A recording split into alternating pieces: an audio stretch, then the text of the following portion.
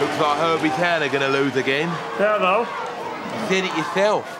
The team are strong on power, but lack the delicate agility and finesse to ultimately fulfill their potential. Yeah, the crap. I'm going to get myself a tin of pop. Do you want one? No, I'll just have yours.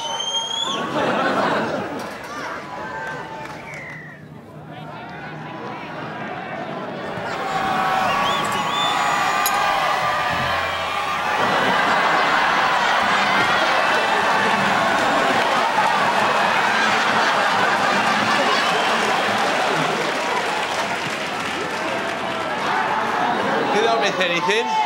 Well.